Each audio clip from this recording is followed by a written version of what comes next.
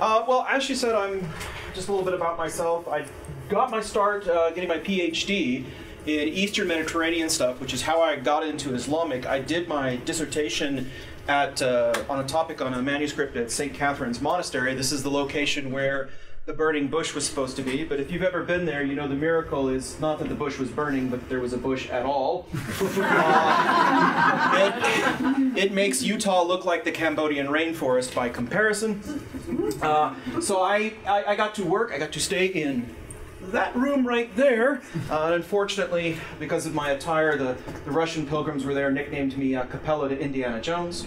so I got to work on this, this fabulous manuscript here. Uh, what I do at UVU now is I teach non-Western art, um, which is the whole world, which was a very daunting subject, and uh, it's kind of problematic for my students because when I bring up something like, say, the Islamic world and the Ottoman Empire, and I mention the Ottoman world, um, all they fundamentally know about it is an Ottoman, uh, which is unfortunate because you may not know this, but uh, the Ottomans also invented the sofa, the coffee table, and popularized coffee as well.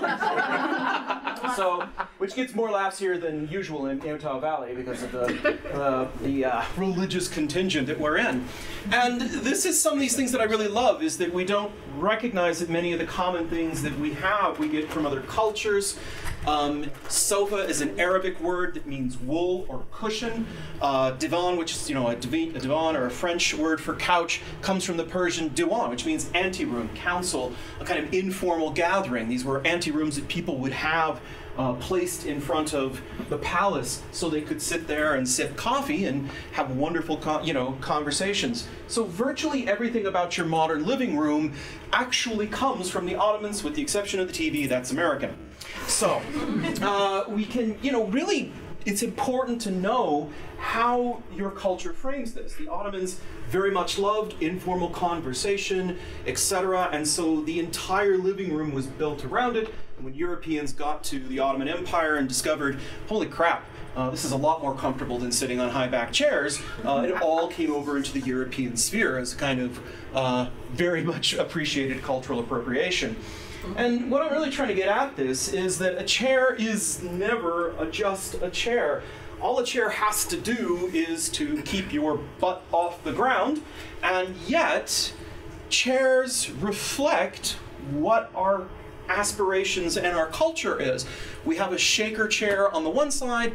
The shaker was a religion that valued utilitarian furniture, simplicity, and so they're known for these very simple but very sturdy, elegant chairs. Whereas the throne of Napoleon over here wishes to express more than simplicity, mm. uh, wishes to express power, projection, and of course, there's an infinite range in between that exists. And if there's any group of people that can appreciate that a chair is not a chair, it's going to be geeks.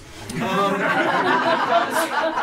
they understand this. I mean, we live in a world where Art Deco means dwarves and Art Nouveau means elves, and we instantly kind of associate cultures with visual ways, with visual um, kind of folk ways.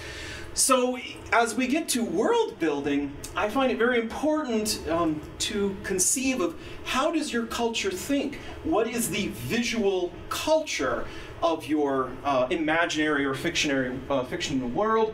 One of my favorite ways of describing this is we can divide it up into material culture. Material culture is the total sum of a, of a culture's production, your utilitarian objects, your coat, your chair, uh, anything that has to be made in a factory or by hand.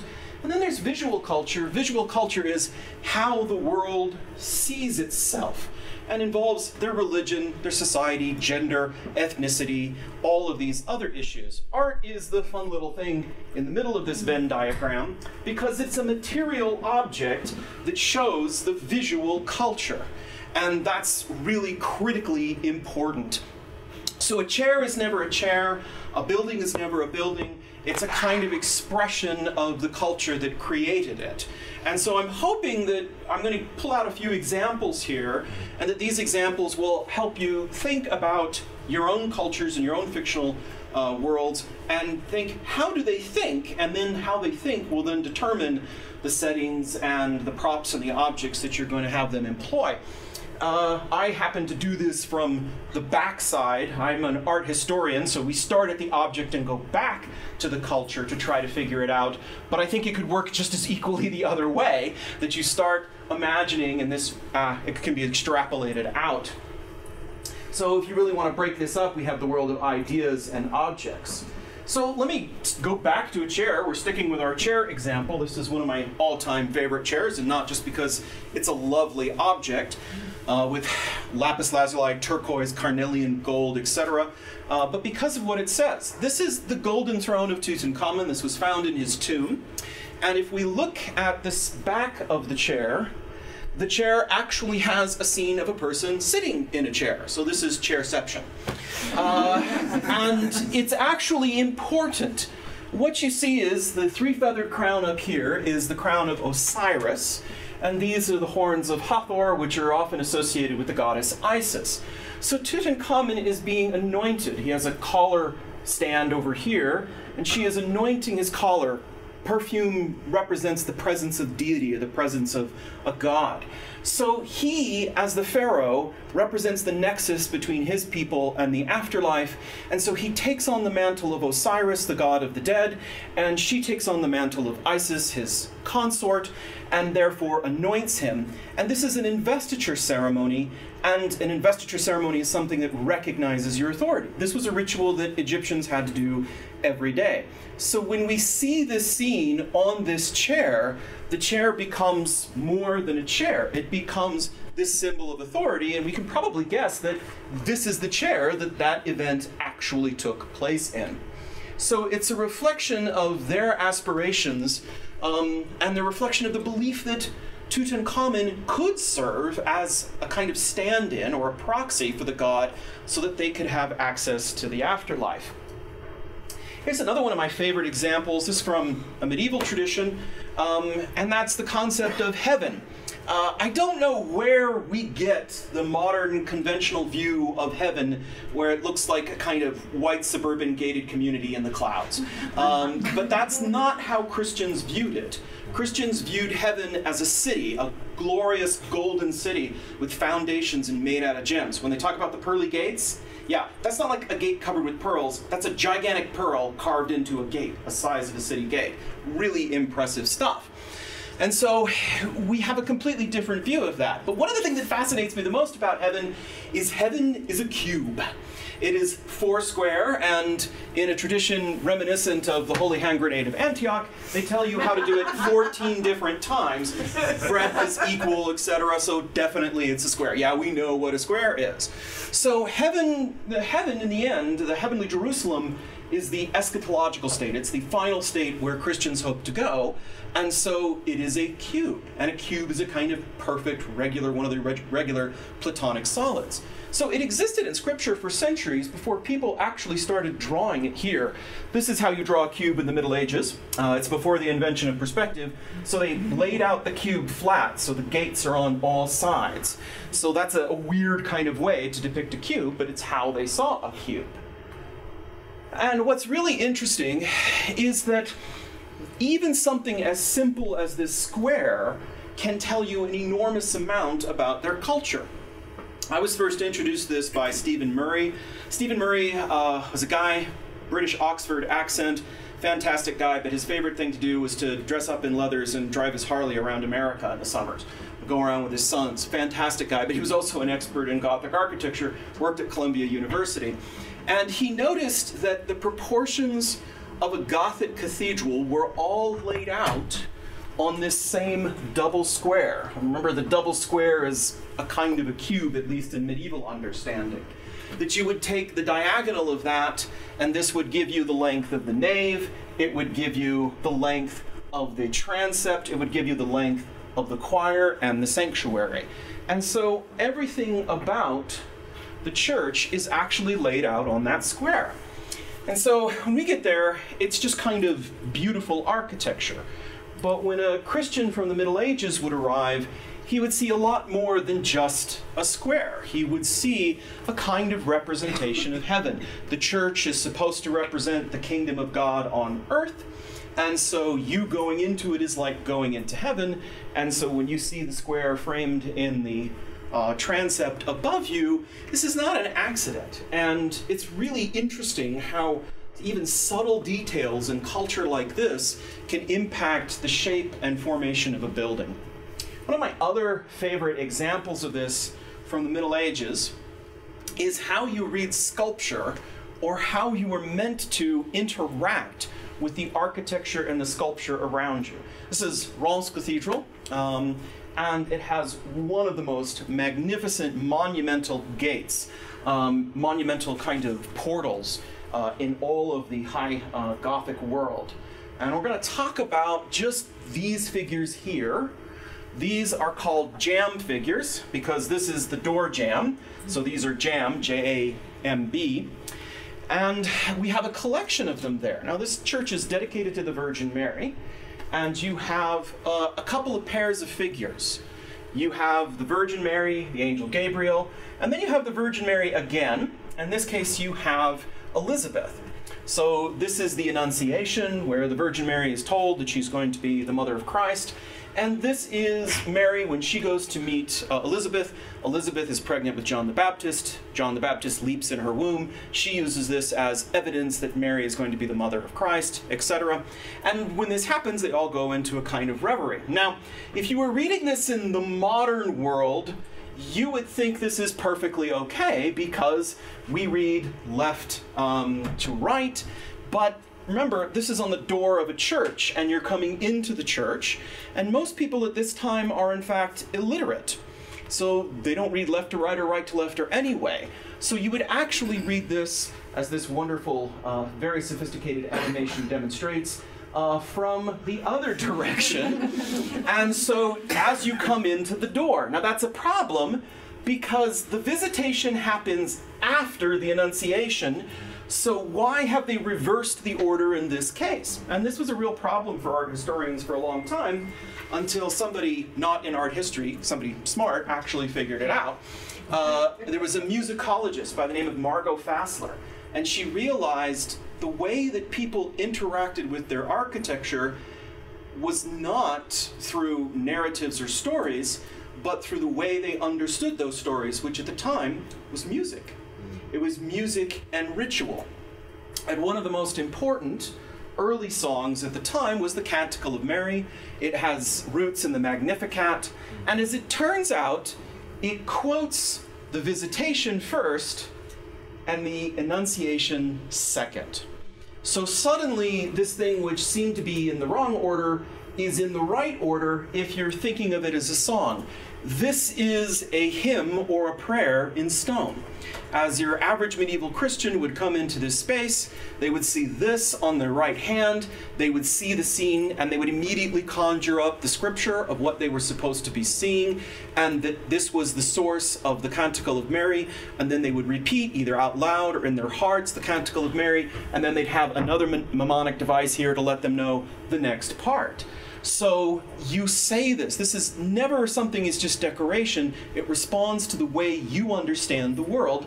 And for Christians, that's the way you understood the world, as you understood it through your daily rituals, your daily prayers, the hymns that you said. You didn't have a Bible to read, but you did have songs and hymns and prayers.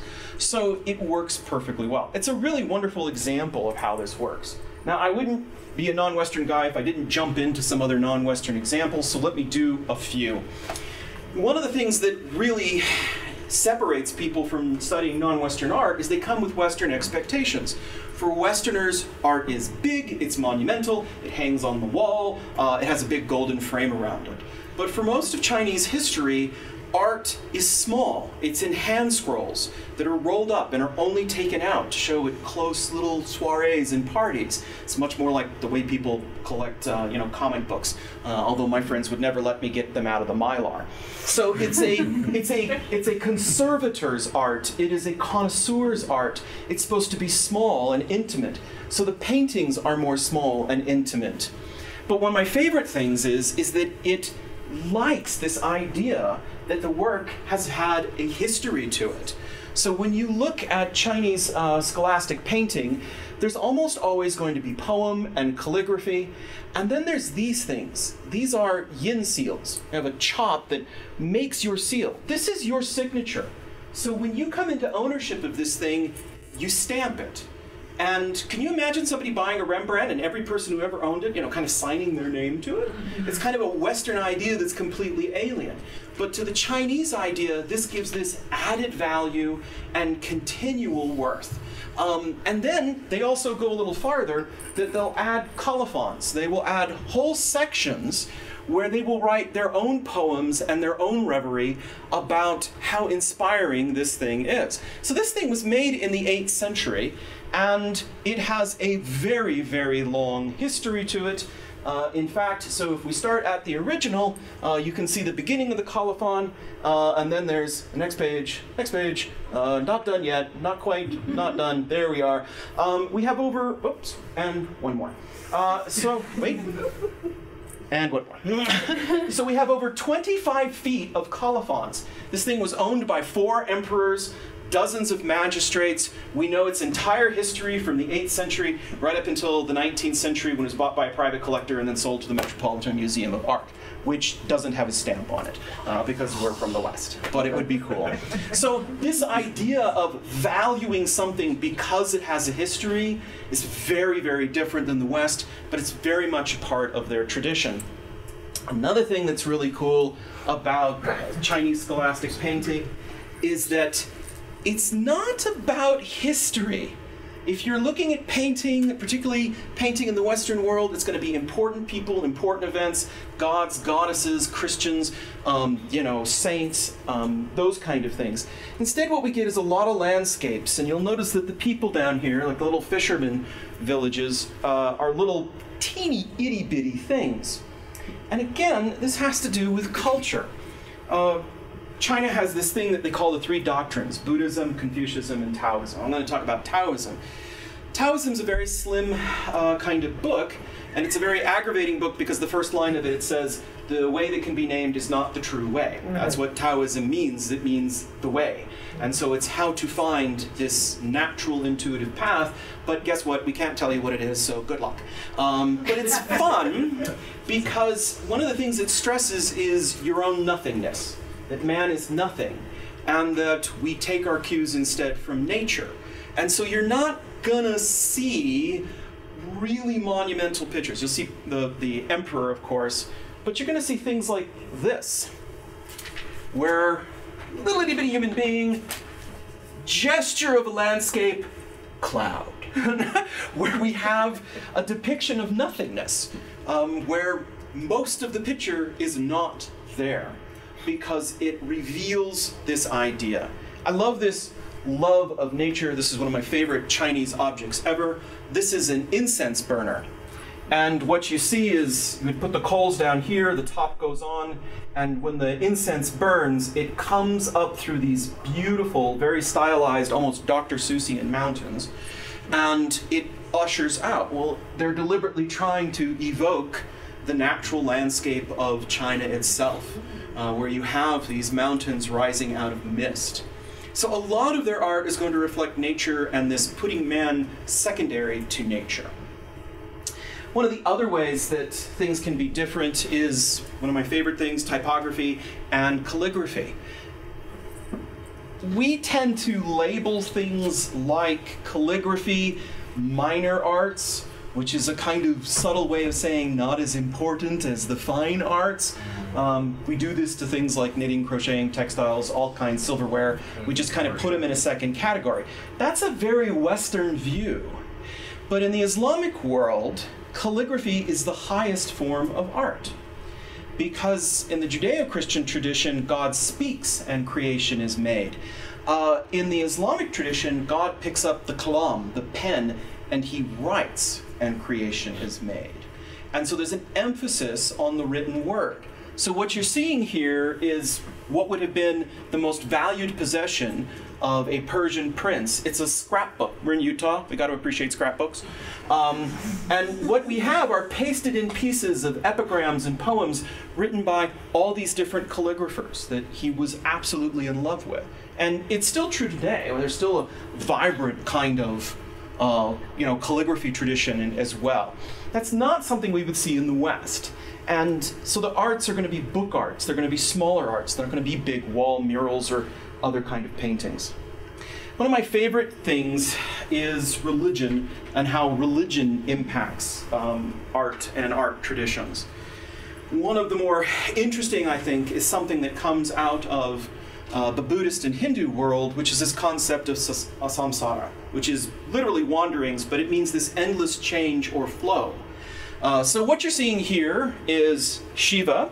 Shiva is commonly known as the destroyer. Uh, so it's a famous line from the Bhagavad Gita is what um, Oppenheimer quoted when he saw the atomic bomb go off, which is actually kind of odd because it makes, I mean, when we say destroyer, we instantly conjure up sinister ideas in the Western world. But that's not the case. This is a positive image. Um, so here we have Lord of the Dance. Sorry, uh, Michael Flatley.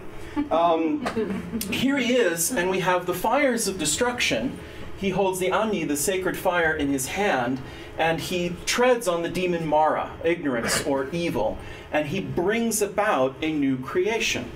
So you have to have this endless flow of destruction, recreation, creation, maintenance, and then destruction again. And if we stop that, then it stops the destruction of evil and the, the rebirth. So that's a very different idea than the Western idea, where we're kind of moving towards a permanent state, where we are seeking a kind of permanent, you know, kind of perfect state. Uh, probably my favorite expression of this is going to be the mandalas of Tibet. Uh, these are cosmological diagrams. They are maps designed to help you find um, your own enlightenment. Um, and they're loosely based on, again, architecture, and they influence architecture. This is a stupa. Uh, this is one of them here. So this is a stupa, this is in uh, modern day Indonesia, and the whole building is kind of created. Uh, Mount Meru is this mythical mountain in the Tibetan concept, and so this stupa kind of stands in for Mount Meru, this kind of uh, state of enlightenment, and it's surrounded by smaller stupas. Um, and so you have this kind of creation in physical architecture of what we see in this example. But my favorite expression of this is Tibetan sand painting, where they have these tiny little sticks that have little ridges on them and a little groove, and if you strum those grooves, the sand will flow out just a few grains of sand at a time, and slowly, you can see they have masks so they don't, you sneeze, you don't ruin a month's work. Um, and you can see how they build up even texture and relief. Um, they're absolutely phenomenally beautiful, and all of this effort is done in the service of a ritual. And when the ritual is done, it is swept up, uh, it is placed into a bowl, and then, depending on the circumstances, it is poured into water, or sometimes, if you're on a mountain, it will be spread out onto the wind.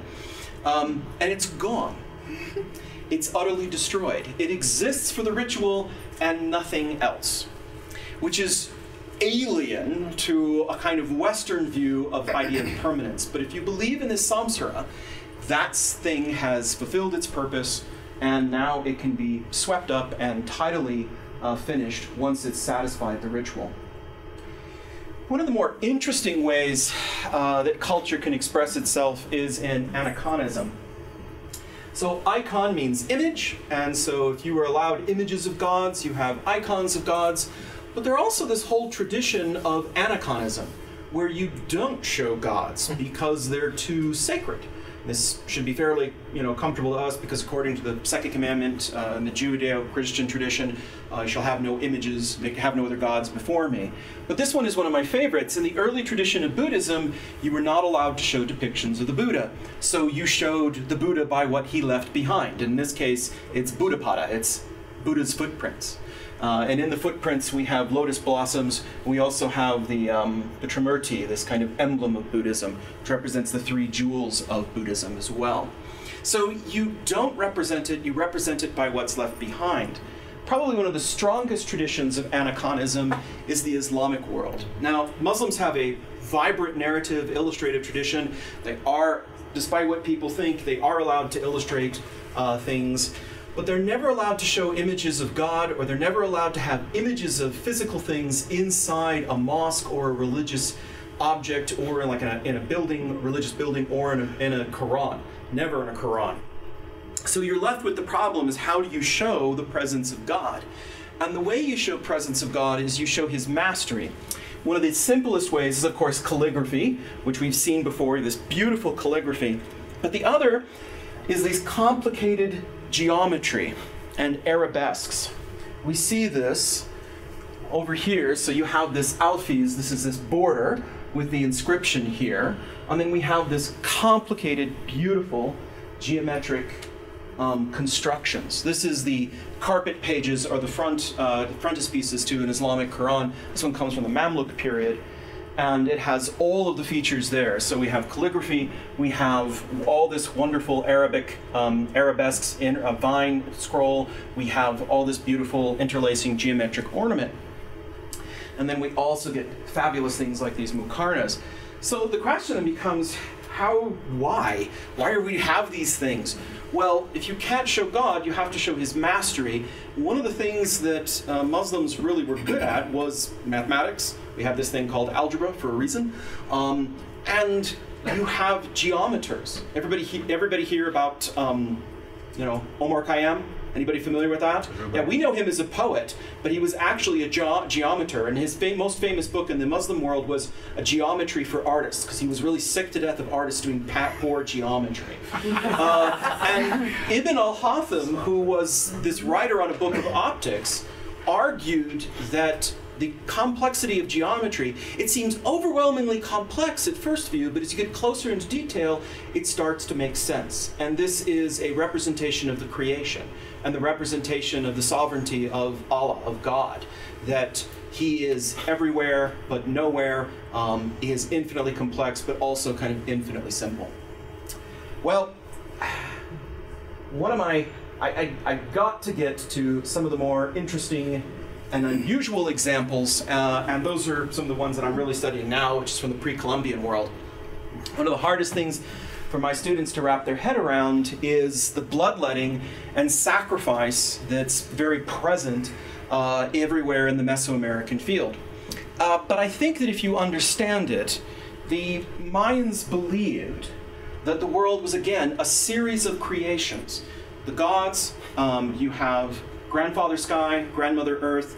They have three iterations of creations. They make men out of mud, but the men have no sense and they dissolve into the water so that they cannot worship them. Then they make creatures out of wood, um, but they're like robots and they have no care for the environment or for the gods, so they wipe them out in a gigantic flood of tree resin, except for the few that save and become spider monkeys.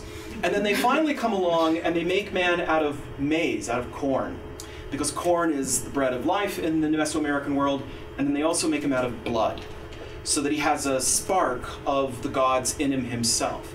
And these can justly worship um, the gods, but the gods need their worship because the gods create the universe. They're in a constant battle to maintain the universe, so they have to be resupplied with life. And so you'll see things like, in this case, Lady Xoc, she is running a cord a barbed cord through her tongue. She's not a piercing fetishist. Uh, she's doing this to get blood, and the blood would then be spread on bark paper that would then be burned. Uh, in the Mayan world, anything that writhes like smoke or water or blood is personified as a serpent. So the serpent comes out and the mouth opens, and here is the ancestor that has been replenished and recreated from this offering of blood. So, and this was something that was expected of kings and queens and nobles, that you had to do this. Uh, quite frankly, the queens are getting off easy. Uh, men had another method. Uh, they used a stingray uh, stinger uh, and were piercing another part of anatomy, which um, I don't have to say because I'm already seeing men cringing. One of my favorite examples also that, that demonstrates this and the concept of how death brings about new life comes from the tomb of Lord Pakal and this absolutely gorgeous, gigantic sarcophagus lid. It's a little bit hard to see, so I've got a drawing here. So at the bottom, we have this fabulous mask that we call a witz monster. And it represents the earth, and it's kind of personified as a beetle. So these are beetle mandibles. And so we have the witz mask right there. And then there is Lord Pakal himself. Uh, no, he's not an ancient astronaut. Uh, he is actually uh, a Mayan king, and so he is being eaten by the earth. He is being consumed. But out of his middle grows the Mayan world tree. And the Mayan world tree is a kind of a weird cross-shaped structure that's a mix of a ceiba tree, uh, which is this spiky uh, tree, and also corn. Uh, and then it has a serpent um, this is the Mixcoatl in the Nahuatl. I forget what the Mayan word is at the top of my head, but this is the cloud serpent, and the cloud serpent is the Milky Way. So this is the tree branching through the Milky Way. And then finally, we have a rain or maize deity at the top. So Pakal's death bring, brings forth the birth of the world tree and renews the world tree in this creation. This is something we see a lot in the pre Columbian world.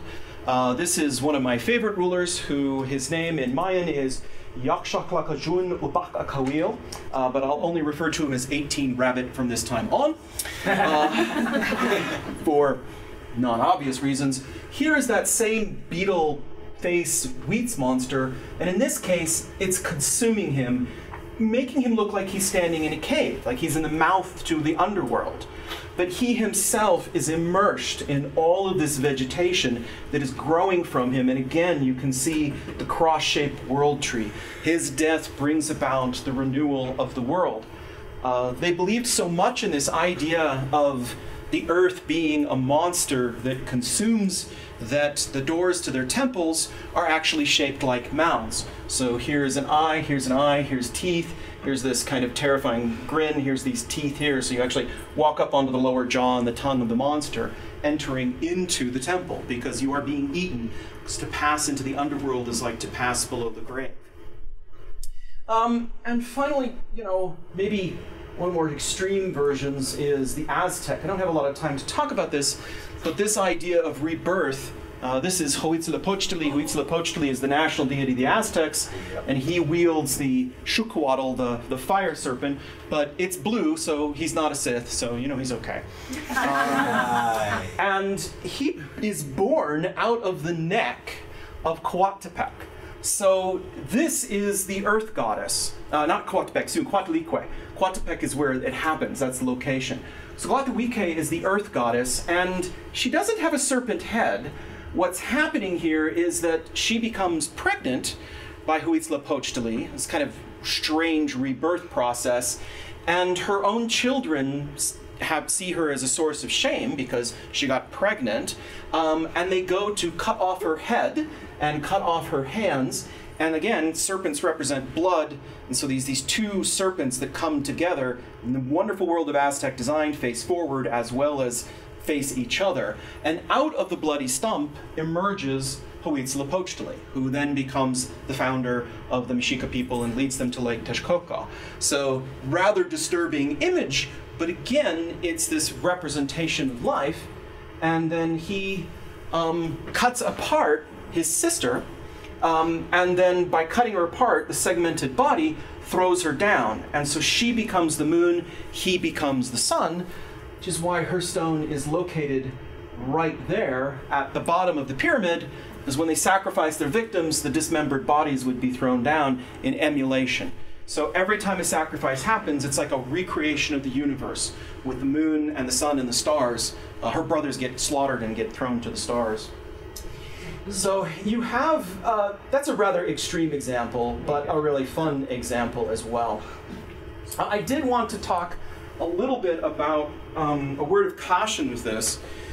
If you look at these cultures, they make excellent sources uh, for resource material, and there's a lot of discussion about uh, this problem of culture and cultural appropriation, which is something I'm very sensitive to, because if you just Google the word harem in an image search, uh, well, first you're going to get mostly anime and then uh, a bunch of other things that maybe that's your thing, maybe it's not. I'm not judging, but I don't do it. Uh, because you're going to get these sexualized images of nudes in Islamic contexts, which can kind of be uh, a little negative because if you know the Islamic concept of harem, harem just means the part of the house that's the domestic residence. And so when you see Islamic views of harems, they show loving families, not nude, eroticized females. So we have to be careful that we do represent these cultures accurately, and this is something I think Mormons can appreciate.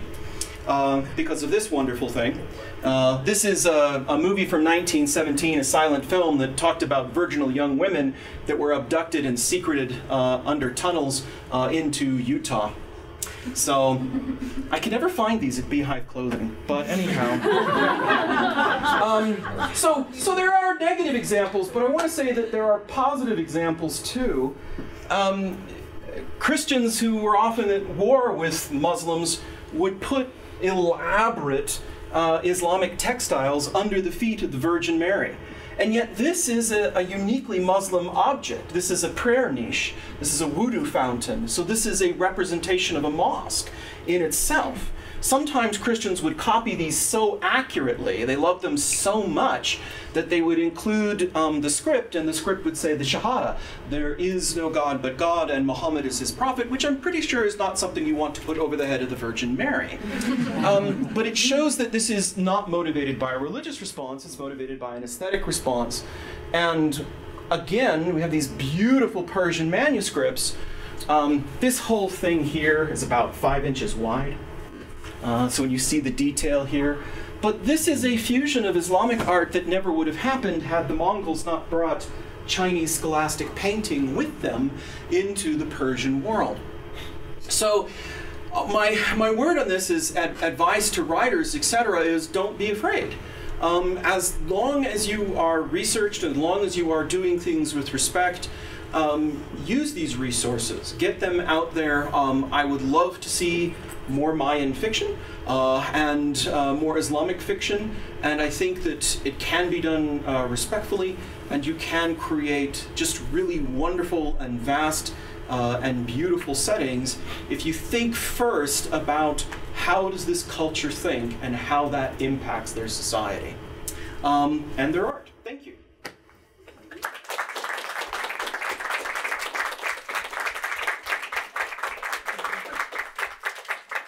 So we've got a few minutes. Do we have some questions?